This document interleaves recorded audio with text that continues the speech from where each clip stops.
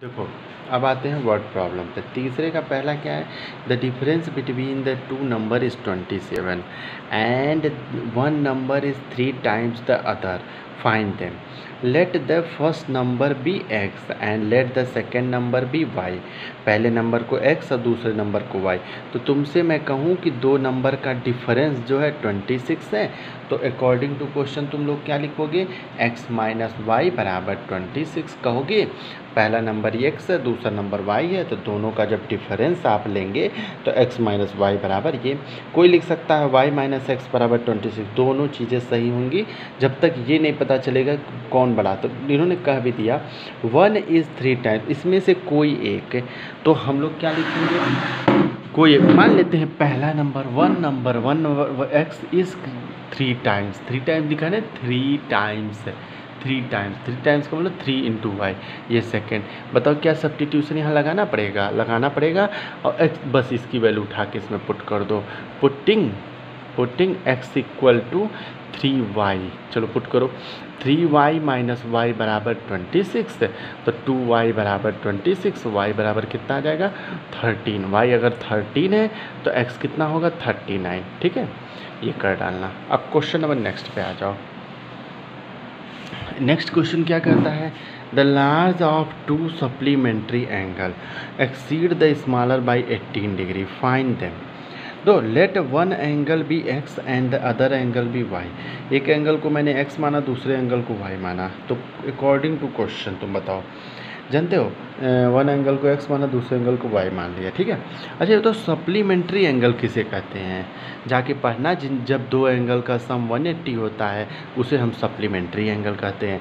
तो पहला तो यही, अगर एक एक्स है, दूसरा वाई है तो according to question X plus Y बराबर कितना आ गया?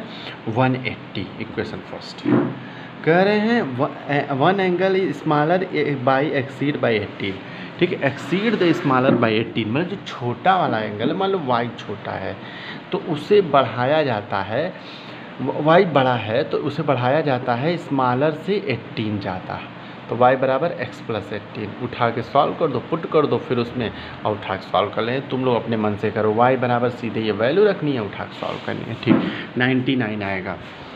The coach of a cricket team by the seven bats and six ball तुम लोगों को पता है, एक बॉल का प्राइस एक हो तो सेवन बॉल का प्राइस सेवन एक्स एक बॉल का एक बैट था सॉरी वहाँ पे, यहाँ पे बॉल है तो six Y six seven X plus six Y बराबर thirty eight hundred three X plus five Y बराबर वन सेवन फाइव ज़ीरो ठीक है? तो ये देखो let the let the let the price of price of each bats be x and the price of each ball be y.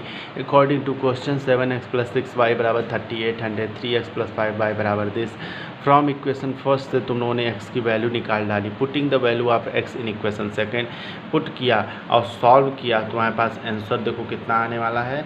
देखते जाओ देखते जाओ देखते जाओ देखते जाओ तो वाई बराबर कितना आ जाएगा फिफ्टी बात समझे नहीं समझे? वाई बराबर कितना आ गया? फिफ्टी कोई प्रॉब्लम किसी को? ठीक है, देख लो भाई नोट कर लो अच्छे से। ठीक, ये हो गया।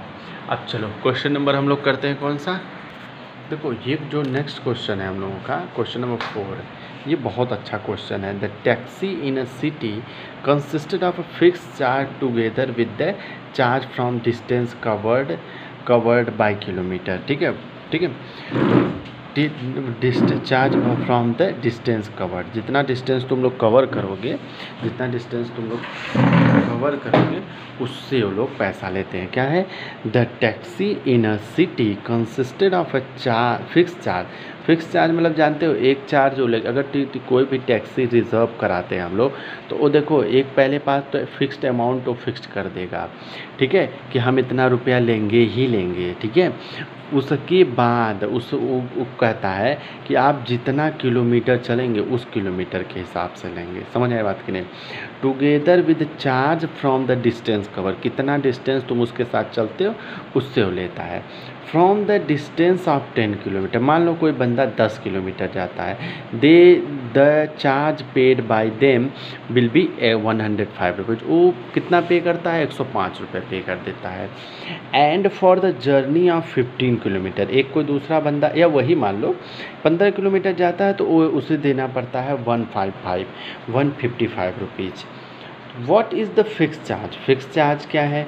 एंड चार्ज पर किलोमीटर क्या है? एंड हाउ मच डज ये तो अलग चीज़ है कि उसे कितना पे करेगा अगर जो 25 किलोमीटर जाता है तो ठीक है? तो हमने एक काम किया। हमने एक काम किया कि let the fix charge be X and the charge per kilometer be Y ठीक है? समझ रहे होगी कि मतलब एक आदमी है एक ए, एक एक रिक्शा है टैक्सी है वो कहता है कि देखो टैक्सी है एक टैक्सी है वो ये कहती कहता है कि अगर आप आ, आप चलिए चाहे जितना किलोमीटर हमें फ़िक्स चार्ज दस रुपये हमेशा आपको देना पड़ेगा। अगर आप मेरे टैक्सी में बैठते हैं तो दस रुपये आपको मिनिमम देना ही देना पड़ेगा। उसके साथ अगर पाँच रुपया पर किलोमीटर के हिसाब से मैं लूँगा पाँच रुपीज़ पर किलोमीटर के हिसाब से लूँगा।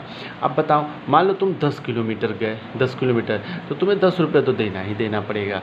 पाँच रुपये पर किलोमीटर है, दस किलोमीटर का दस पचास पचास टेन और फिफ्टी ये देना पड़ेगा। तुम्हें टोटल सिक्सटी रुपीज़ देना पड़ेगा। बात समझे नहीं समझे। तो ऐसा कुछ कहानी है, देखो ध्यान से।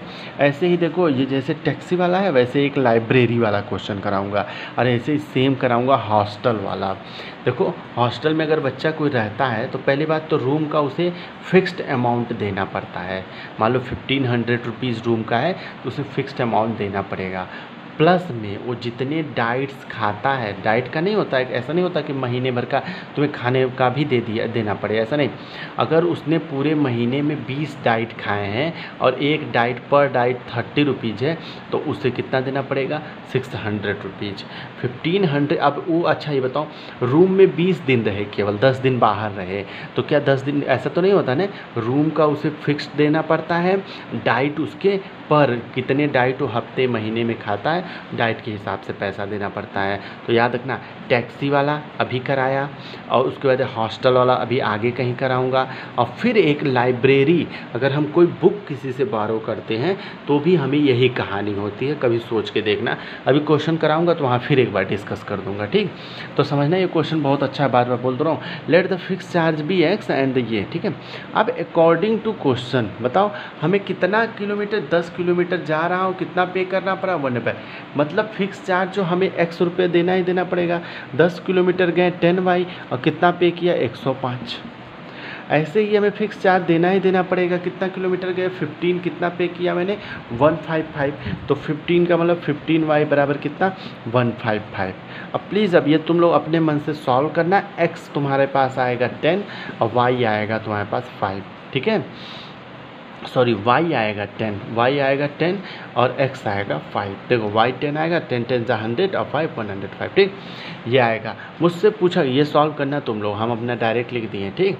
अब सुनो ट्यूशन से करना, ये भी बात याद रखना। सुनो मेरी बात को, वो कह रहे पच्चीस किलोमीटर जाए। अच्छा ये बताओ, पच्चीस किलोमीटर अगर जाएगा वो तो उन्हें फिक्स चार्ज तो पच्चीस किलोमीटर के लिए क्या होगा? X plus twenty five Y पच्चीस किलोमीटर के लिए।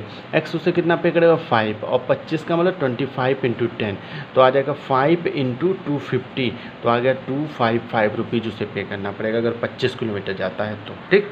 चलो नेक्स्ट क्वेश्चन नेक्स्ट क्वेश्चन ये है कि a fraction become nine by eleven if two is added to both numerator and denominator if 3 is added to the both numerator and denominator, fraction become 5 by 6 find the fraction. मैंने क्या किया? Let the numerator of a fraction be X and denominator be Y ठीक है? दिख रहा है? Denominator be Y then fraction will be X by Y then fraction will be X by Y according to question ठीक है? मैं क्या करने वाला हूँ? देखो, पहले मैंने क्या कहा था? A fraction become if two is added both एक फ्रैक्शन अगर एक्स और वाई है, और इसमें दो मैं ऊपर भी ऐड किया, दो नीचे भी ऐड किया तो fraction become nine by eleven कितना हो गया? नाइन बाई इलेवन ये according to first statement multiply कराओ। इलेवन एक्स प्लस का ट्वेंटी टू बराबर नाइन वाई प्लस का एट्टीन तो इलेवन एक्स बराबर कितना आ जाएगा? जल्दी बताओ। नाइन वाई माइनस का एट माइनस का फोर ये इक्वेशन फ़र्स्ट मान लो, ठीक? अब सुनो, अगला स्टेटमेंट क्या कह रहा है? अगला स्टेटमेंट ध्यान से पढ़ो। If three is added both अगर तीनों में तो x प्लस थ्री और प्लस वाई प्लस थ्री दोनों में ऐड करूँ तो fraction become five by six इसको भी सॉल्व कर लो सिक्स एक्स प्लस एटीन बराबर फाइव वाई प्लस का फिफ्टीन तो सिक्स एक्स बराबर कितना आ जाएगा? Five Y eighteen minus three ये इक्वेशन सेकेंड आ गया, ठीक? तो इस तरीके से हम लोगों का ये हो गया। बात समझे, नहीं समझे? अब तुम लोगों का काम है इसे सॉल्व करके एक्स और वाई निकालना, ठीक है? हमें बताना। नेक्स्ट क्वेश्चन सिक्स है। फाइंड फाइव ईयर हैंस पाँच साल बाद the age of Jacob will be the three times will be the son ठीक है? वो three and five year ago पाँच साल पहले the Jacob will be the seven times the age of a son लो चलो भैया let the age of Jacob be X and the age of son be Y कितने साल? पाँच साल बाद। तो फाइव ईयर हैंस हम लोग क्या करेंगे? Five year hence five year hence तो ये कौन है? ये इनके पिताजी हैं और ये उनका बच्चा है। तो ठीक है, अब पाँच साल बाद क्या होगा? दोनों लोग, देखो, दोनों लोग ये भी पाँच साल बड़े हो जाएँगे, ये भी पाँच साल बड़े हो जाएँगे। कितने टाइम्स कहा उन्होंने five year the age of will be the three कितना कहा है? थ्री बस तुम थ्री का इधर मल्टीप्लाई कर दो। वो एक दिन बता चुका था, जो छोटा होता उसी की तरफ़ बट ये छोटा लड़का, छोटे लड़के की एज कम होगी पिताजी से। तो इनकी इनकी इनकी, इनके में हम थ्री का मल्टीप्लाई तो एक्स प्लस फाइव बराबर कितना आ गया? थ्री वाई प्लस का फिफ्टीन तो एक्स बराबर कितना आ गया? थ्री वाई प्लस का टेन ये इक्वेशन फ़र्स्ट आ गया। अब मेरी बात अगली सुनो। करें फाइव ईयर एगो अब अगला स्टेटमेंट क्या बनेगा? फाइव ईयर एगो पाँच साल पहले।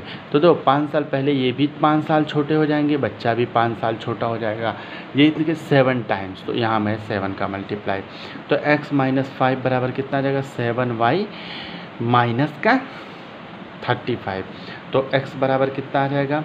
सेवन वाई माइनस का, बताओ जल्दी से। ये इधर जाएगा, वो थर्टी अब एक्स की वैल्यू उठा के यहाँ रख दो थ्री वाई प्लस का टेन यहाँ रख दो थ्री वाई प्लस का टेन बराबर सेवन वाई माइनस वो बाकी तुम्हारा काम है। तुम लोग एक्स और वाई सब्टीट्यूशन मेथड से लगा के हमें पूरा एक्सरसाइज करके भेज देना। Thank you